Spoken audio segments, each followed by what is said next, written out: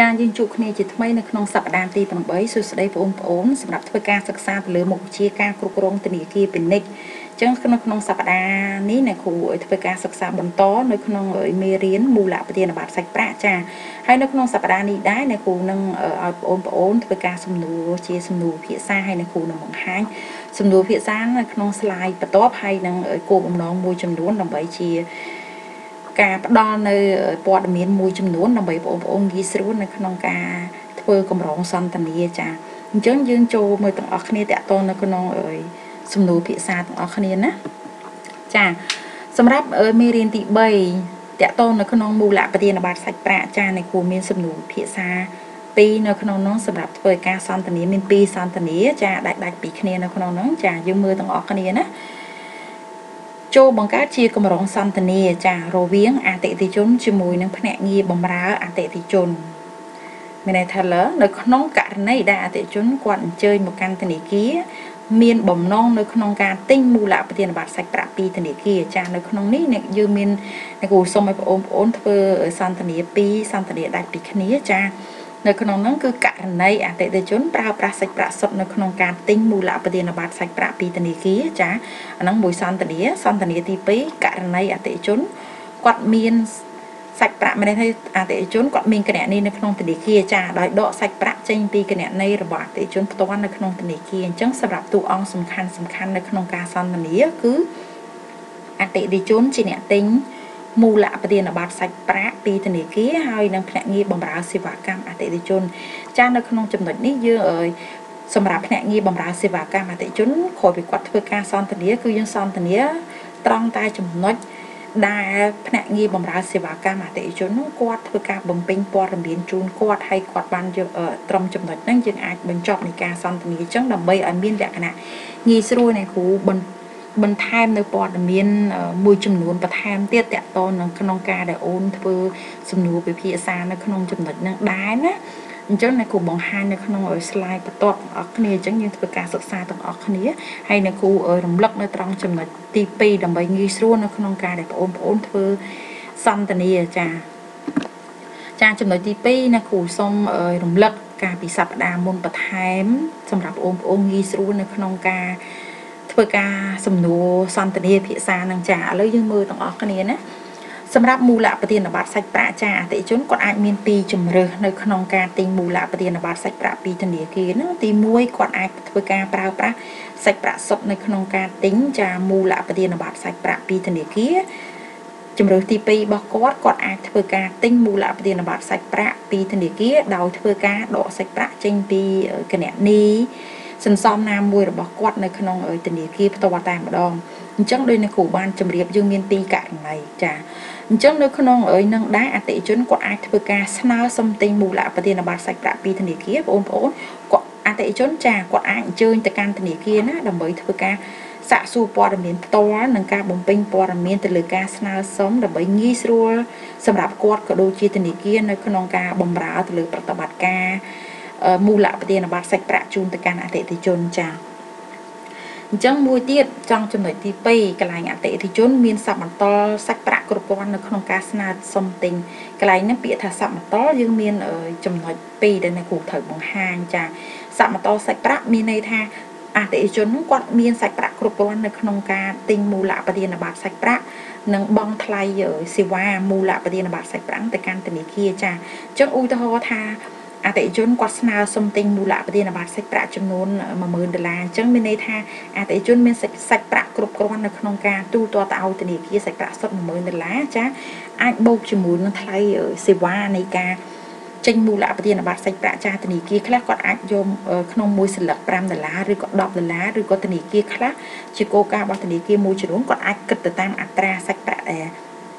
ភាគរយនៃអត្រាសាច់ប្រាក់ដែល ចេញជូនអតិថិជនអានេះគឺជាគោលការណ៍មួយរបស់ធនាគារលក្ខខណ្ឌណាអញ្ចឹងនៅពេលដែលយើងធ្វើការសន្ទនាយើងអាចកំណត់ថាមួយស្លឹក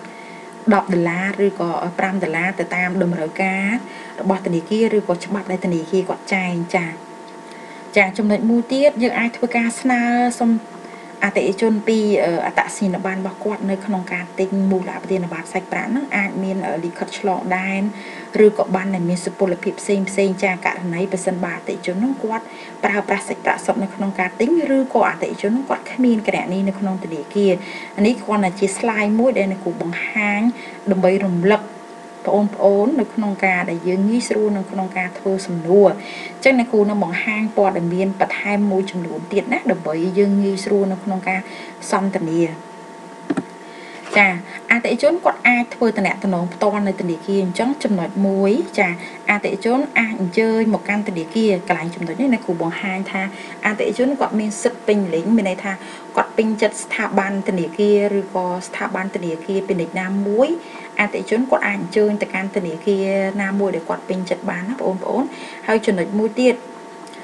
ភ្នាក់ងារបម្រើអតិថិជនត្រូវធ្វើការស្វាគមន៍អតិថិជនកន្លែងស្វាគមន៍អតិថិជនណាគឺជាទូទៅទម្លាប់យើងជាខ្មែរយើងត្រូវធ្វើការជំរាបសួរអតិថិជនដែលគាត់ បានអញ្ជើញមកកាន់ធនាគារយើងនៅក្នុងការទទួលនៅសេវាកម្មណាមួយក៏ដោយក៏យើងធ្វើការស្វាគមន៍គាត់ដោយការជំរាបសួរហើយបន្ទាប់មក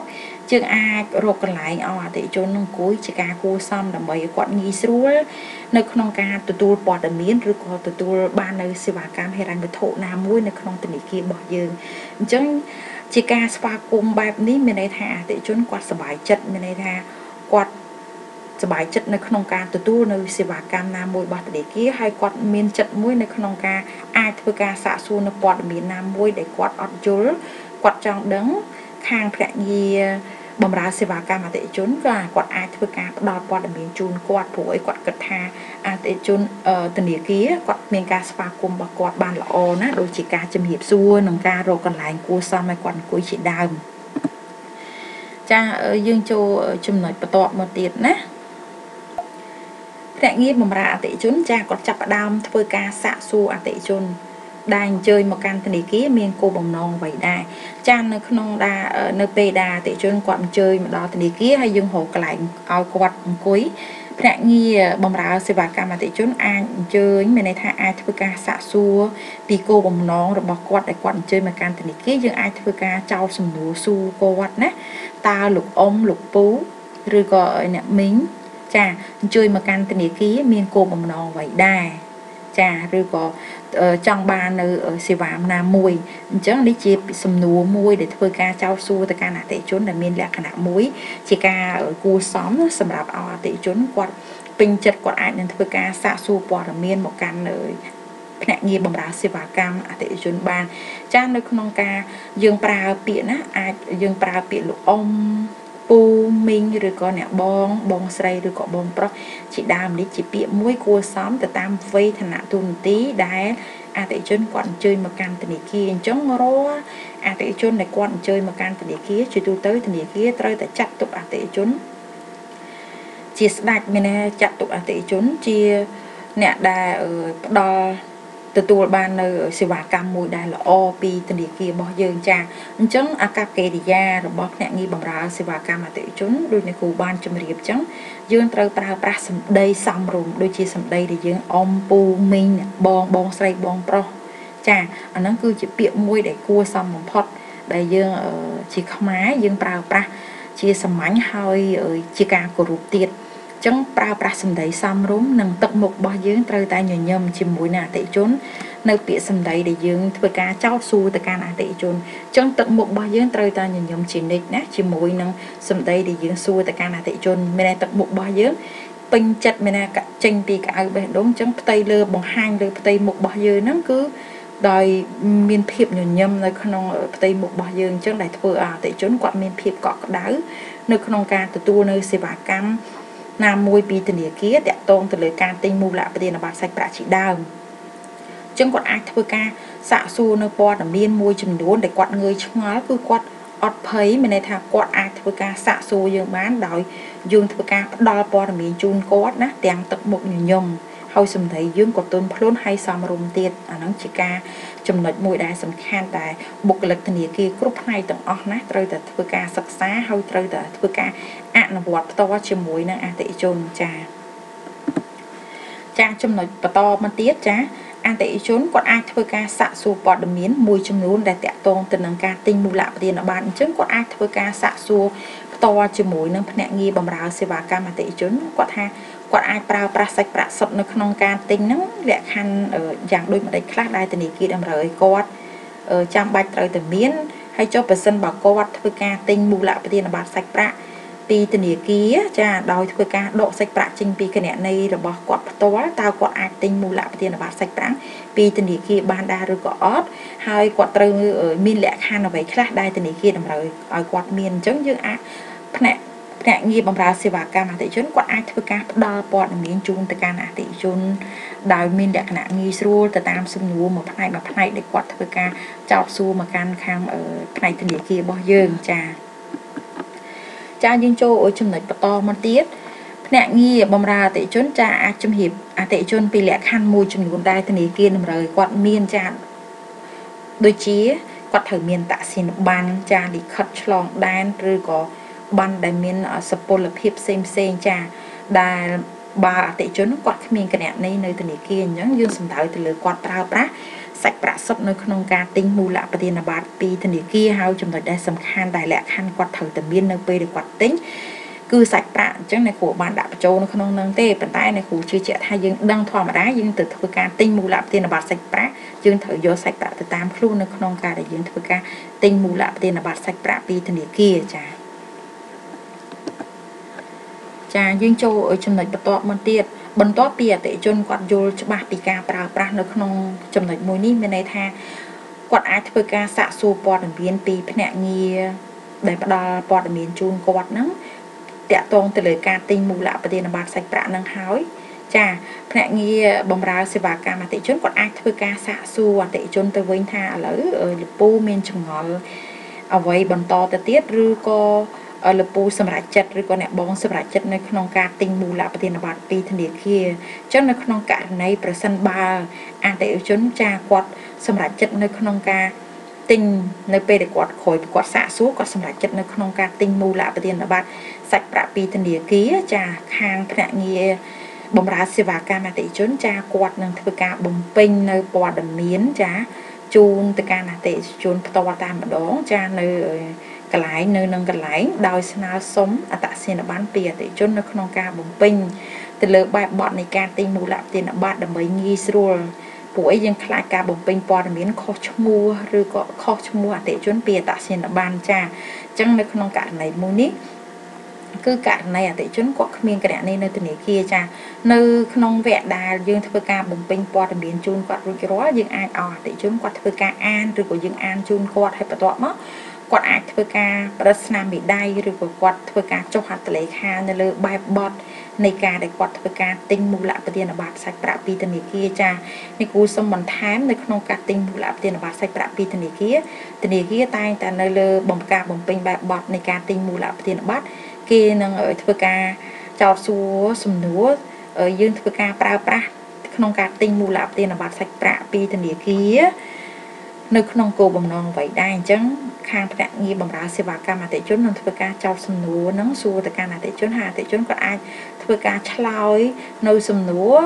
ពីគោលបំណងដែលគាត់ធ្វើការទិញមូលប្រធានប័ត្រសាច់ប្រាក់ពីធនាគារចានៅក្នុងករណីដែលអតិជនគាត់គ្មានគណនីនៅធនាគារចាយើងចូលចំណុចបន្តមកទៀត នៃគូសុំបញ្ជាក់តកតនប្រសិនបើអតិជនគាត់មានគណនីនៅធនាគារមានន័យថាគាត់អាចធ្វើការដកសាច់ប្រាក់ចេញពីគណនីរបស់គាត់នៅក្នុងធនាគារភ្នាក់ងារធនាគារក៏គាត់ធ្វើការបំពេញនៅព័ត៌មានហើយគាត់អាចត្រួតពិនិត្យព័ត៌មានរបស់អតិថិជនដែលតម្កល់នៅក្នុងធនាគារឬក៏អាចស្នើសុំអត្តសញ្ញាណប័ណ្ណបើជាការចាំបាច់នៅក្នុងការបំពេញនៅទម្រង់បែបបទជូនទៅកាន់អតិថិជន ចានៅក្នុងនេះយើងបង្ហាញពីគោលបំណងនៅក្នុងការប្រើប្រាស់មូលប្រធានប័ត្រសាច់ប្រាក់ ដែលអតិថិជនគាត់ស្នើសុំទិញពីធនាគារតើគាត់មានគោលបំណងអ្វីនៅក្នុងការដែលគាត់មូលហេតុដែលគាត់ធ្វើការទិញមូលប្រធានប័ត្រសាច់ប្រាក់ពីធនាគារចាឯគូសូមបញ្ជាក់ណានៅក្នុងចំណុចនេះបេនឡាផ្នែកបម្រើសេវាកម្មអតិជននិងនិងអតិជនចាគាត់អាចធ្វើការសន្ទនា ត្រឹមតែវគ្គដែលអតិជនគាត់អញ្ជើញមកកាន់ធនាគារផ្ទាល់តែម្ដងហើយធ្វើការសាកសួរបន្ទាប់ពីសាកសួរគាត់អាចធ្វើការបំពេញព័ត៌មានទៅលើការទិញមូលប្រធានប័ត្រពីធនាគារហើយនៅត្រង់វគ្គកក្រោយពីអតិជនធ្វើការចុះហត្ថលេខាឬក៏គាត់ធ្វើការបដិស្នាមេដាយលើទម្រង់បែបបត់នៃការទិញមូលប្រធានប័ត្រពីធនាគារហើយក្នុងវគ្គហ្នឹងយើងអាចបញ្ចប់ការសន្ទនាបានយើង អាហ្នឹងជាបញ្ចប់ការសន្ទនាផ្នែកការងារមួយរវាងអតិជនជាមួយនឹងភ្នាក់ងារបម្រើអតិជននៅក្នុងការបំពេញព័ត៌មានតាក់ទងទៅលើការទិញមូលប្រធានប័ត្រសាច់ប្រាក់ពីធនាគារចាអញ្ចឹងនៅក្នុងចំណុចនេះដែរសម្រាប់ការសន្ទនាអ្នកគ្រូបង្ហាញព័ត៌មានត្រង់ចំណុចហ្នឹងចា